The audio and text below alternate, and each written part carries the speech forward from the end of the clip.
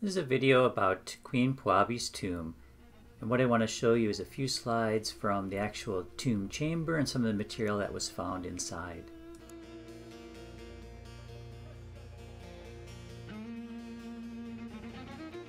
This is a drawing of the actual tomb itself and what I want to focus on is the very top part of the photo which shows her own burial.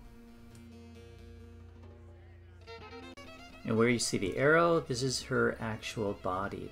And what I want to show you next is a bit of her headdress, which I showed at the very beginning. The headdress itself is made out of very fine gold leaf. Now what I want to do is move down to the southern part of the tomb and show you um, a harp that was found um, next to a pile of bodies.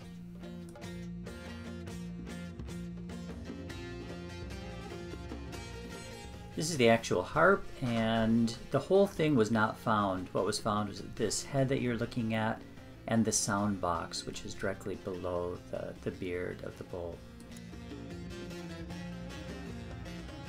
We also have this image, which is not coming from the tomb of Queen Puabi, but is coming from something called the Standard of Ur, and I've had you listen to a podcast on the Standard of Ur.